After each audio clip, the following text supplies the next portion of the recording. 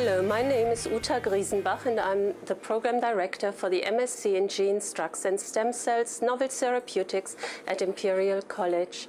The course was developed in response to rapidly developing advances in drug development ranging from gene therapy to regenerative medicine and pharmacology and provides a unique combination of these hot areas of research. The main purpose of this program is to facilitate state-of-the-art education in next-generation therapies for scientists and clinicians who at the end of the course will be familiar with the requirements of bench-to-bedside translational research and will be equipped to significantly contribute to these rapidly expanding fields.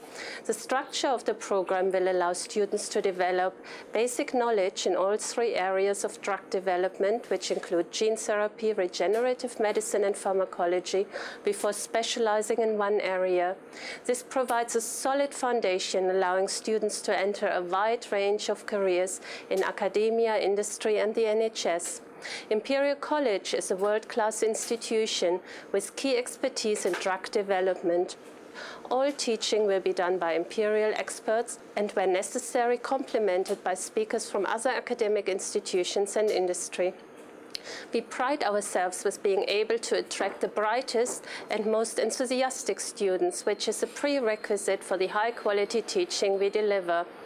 If you are interested in this program, please see our website for more information.